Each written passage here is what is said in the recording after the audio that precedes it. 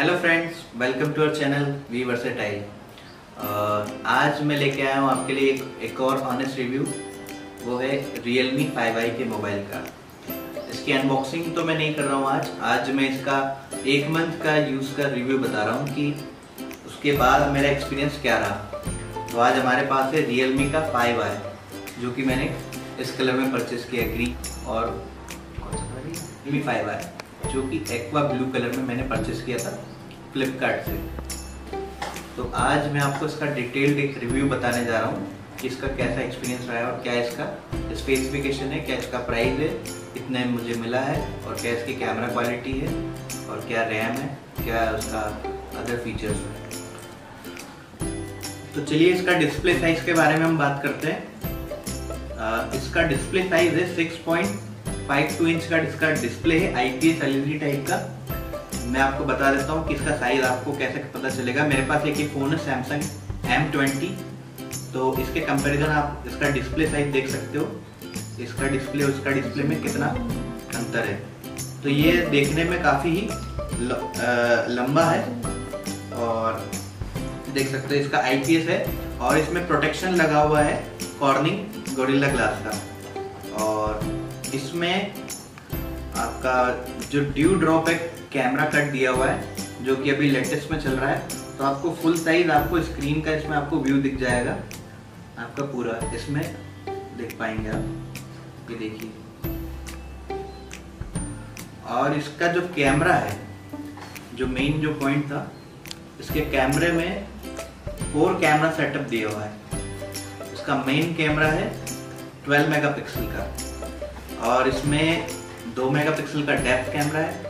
दो मेगापिक्सल का macro shot है और इसमें wide angle camera eight megapixel का 119 डिग्री का वाइड एंगल जिससे कि आप वाइड एंगल में आप अच्छे सी फ़ोटो ले सकते हो और जिसमें आप ज़्यादा लोगों को कवर कर पाओगे। और बेसिकली अगर आप देखा जाए तो इसका जो कैमरा है वो 12 मेगापिक्सल है बट अगर आप इसके कैमरा शॉट्स जो मैं डाल दूँगा, उसको आप अगर देखेंगे तो आपको अंतर पता चल जाएगा कि ये 48 मेगापिक्सल से कम नहीं है। इसकी जो कैमरा क्वालिटी वो बहुत ही अच्छी है। उसका पोर्ट्रेट मोड उसका जो कलर कंट्रास्ट है डिस्प्ले में वो मुझे बहुत पसंद आया। यहाँ हम इसकी बात करते हैं इसका नेटवर्क की। तो इसमें डुअल सिम है। इसमें नैनो सिम दोनों सिम नैनो लगती है। और इसकी खास बात ये है कि इसमें डेडिकेटेड स्लॉट है।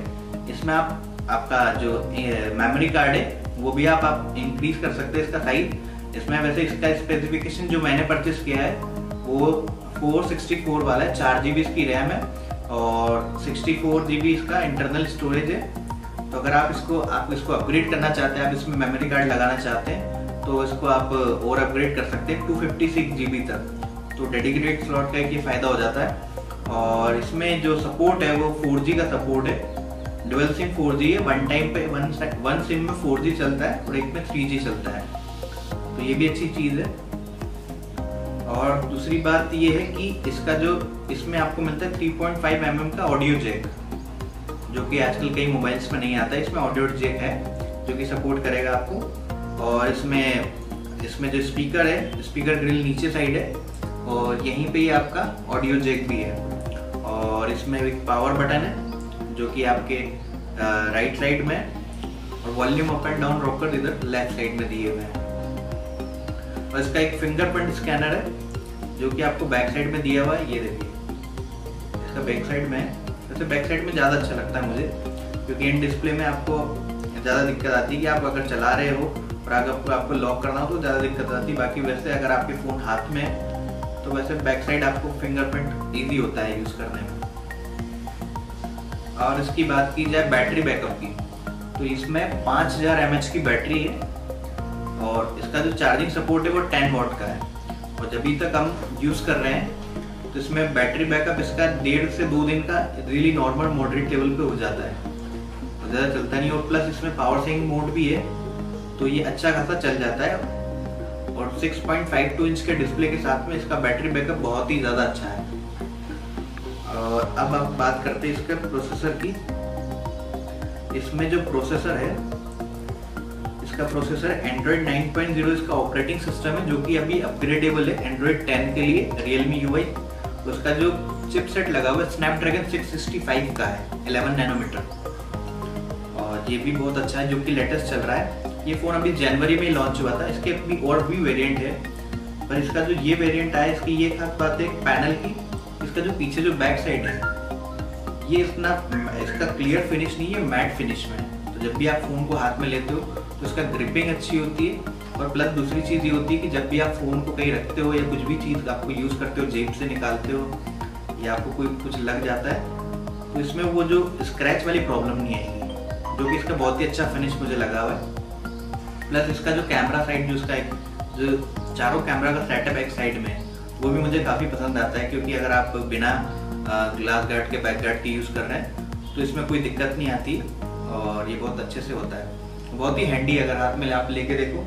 डी इसका वेट भी ज़्यादा नहीं है 195 ग्राम का इसका वेट है, जो कि एक मॉडरेट वेट है आपका। अच्छा लॉन्ग टाइम भी अगर आप यूज़ करते हो, अगर आप पबजी प्लेयर हो और आपको ज़्यादा टाइम तक भी यूज़ करना है तो इसमें कोई दिक्कत नहीं आती है। और इसमें इनबिल्ट फिंगरप्रिंट सेंसर है एक्सीलोमीटर है गैरोमीटर है प्रॉक्सिमिटी कंपास मीटर है। और इसमें दो कलर आते हैं, एक एक्वा ब्लू आता है और एक फॉरेस्ट ग्रीन आता है। तो मुझे एक्वा ब्लू कलर ज़्यादा अच्छा लगा और जो कि देखने में भी अच्छा लग रहा है और जब आया है तो और ज़्यादा ही अच्छा लग रहा है। बाकी इसकी बिल्ड क्वालिटी की बात करें तो बहुत ही अच्छी बिल्ड क्वालिटी है। हाथ में लेने में लगता है कि हाँ अच्छे, मज़बूत एक फ़ोन हाथ में लिया हुआ है। और बाकी तो इसका जो विजेट्स है बहुत ही अच्छे हैं। हाँ थोड़ा सा लॉन्ग है अगर आपका, ज़्यादा आपको अगर आपके शॉर्ट हैंड है, अगर आपको दिक्कत होती है एक, एक हाथ से फ़ोन चलाने में तो ये आपके लिए थोड़ा सा रहेगा कि आपको थोड़ा सा लॉन्ग पड़ेगा मोबाइल बाकी ये वैसे बहुत ही अच्छा है। ये कुछ पिक्स मैंने लिए हैं। ये बैक कैमरा से पोर्ट्रेट मोड में लिया है फ़ोटो ये वाइड एंगल में मैंने एक फ़ोटो लिया है। और इसके साथ में ये क्लोज़ वाला पोर्ट्रेट फ़ोटो भी बहुत अच्छा लगा है। और फ्रंट का कैमरा भी बहुत अच्छा है ये मैंने सेल्फी से लिया है। और ये कुछ शॉट मैक्रो शॉट लिए हैं। मुझे बहुत ही फ़ोन बहुत अच्छा लगा बजट के हिसाब से ये बहुत ही बढ़िया फ़ोन है। अगर आपको 10 से 12 की रेंज में कोई मोबाइल चाहिए तो ये अच्छा है। तो आपको वीडियो पसंद आया तो चैनल को सब्सक्राइब करें और लाइक करें।